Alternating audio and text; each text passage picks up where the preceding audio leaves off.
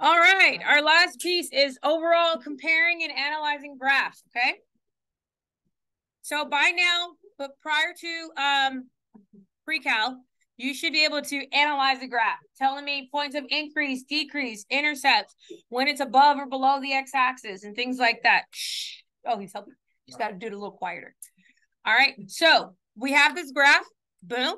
And first thing we're going to do is be able to state the domain of any graph. There are two graphs happening here. Mm-hmm. We have f of x with some little curvatures in the beginning. We have g of x. Okay. Um, these are anyone know what type of graphs these are called? Chaos. No. Yeah. They're called piecewise. What? Piece. Piece. These are piecewise graphs. Mm-hmm. Exactly. Your graphs are made of different functions along the path. Does that make sense? So as you can see here, this one starts off as a quadratic, then becomes a constant, that ends as a linear. We have an increasing linear, a, not as much increasing, then we have a decreasing linear, and then another increasing linear, right? These are piecewise graphs. Okay. We're going to establish the domain of each piece. So of each function. So if we look at f of x, what is the domain of f of x? It, it's all real numbers, right? Yep. So you can either be lazy and write that, or you can do the whole negative infinity to positive infinity. No, I'm good. Okay. What about g of x?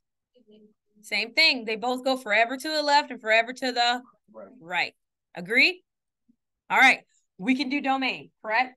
Yes. Woohoo, look at this. Okay. The next thing we're going to analyze eh, are the values. When it says f of x equals zero, what does that mean you're looking for?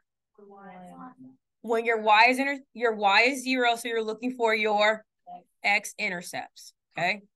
Anytime a thing says f of x equals zero, that means you're looking for x intercepts. Okay. So for the function f of x, where are my x-intercepts? Two and does it, we,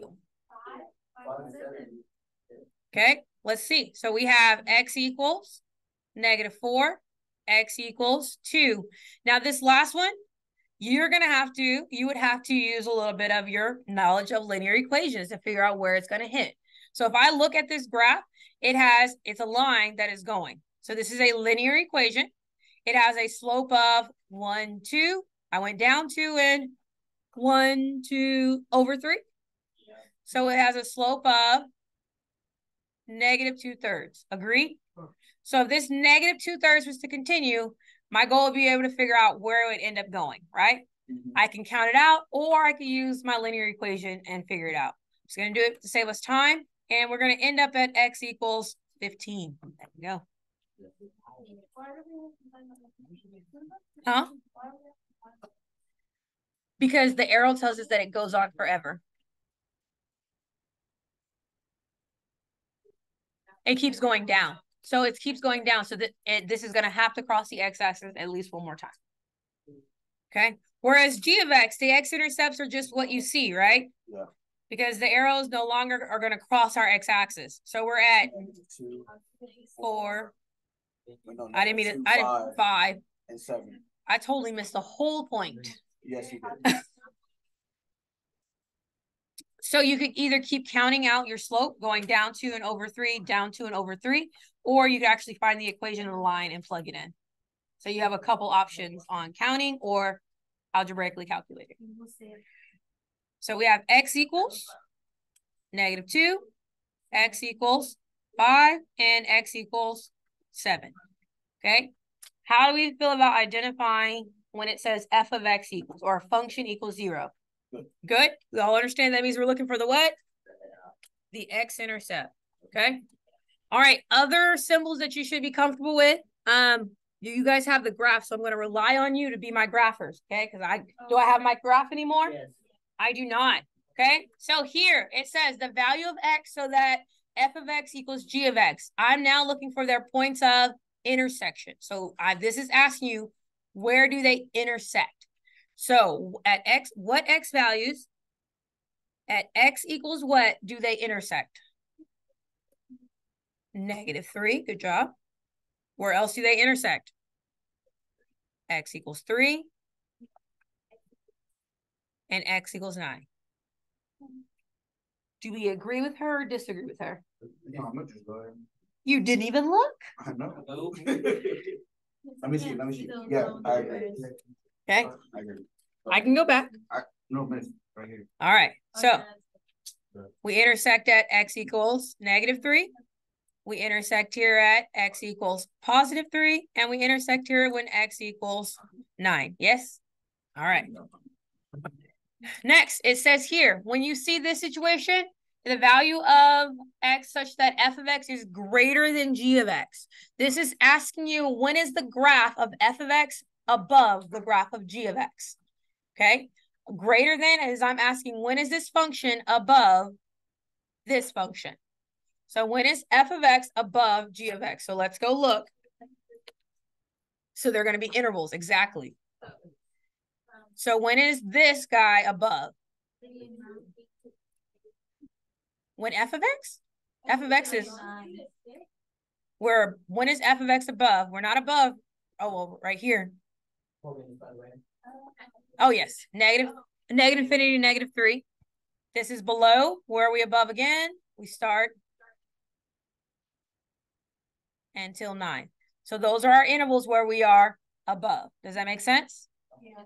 So you write them as intervals. So I'm going to go back to my little thing and write out my intervals.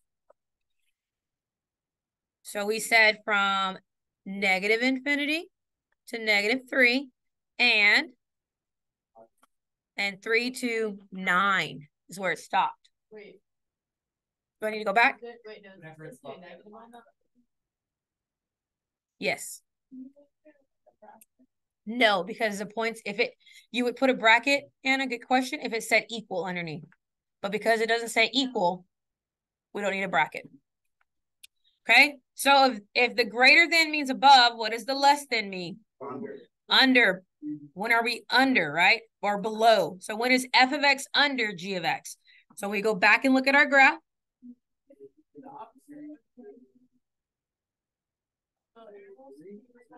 Technically, yes. So we have negative three, two to three right here, right? And then we are nine to infinity and beyond. Agree? Yes?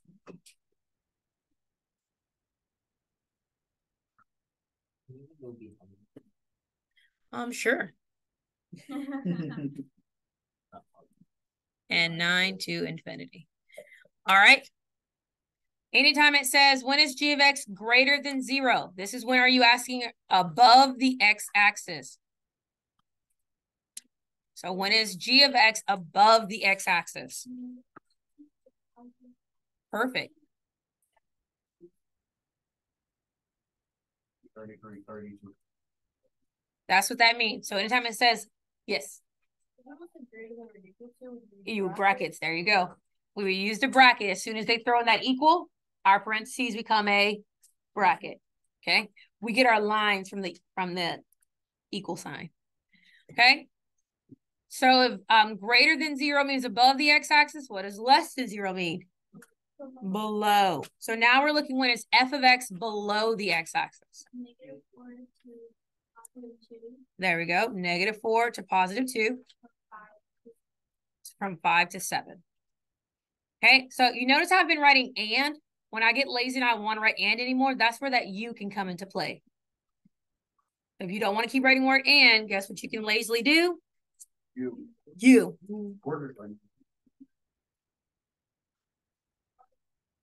Did she, did she not say 15? I heard 15 because I thought that it's um it also remember we have an x-intercept at 15. So even though we don't see it, 15 happens and then we continue. It's negative 4 to 2, and then 15 to infinity. Because that will be our next x-intercept. Yes. All right. So um really quick before you leave, I think we are just going through the vocabulary and making sure we understand. Your homeworks aren't due till Tuesday and Wednesday.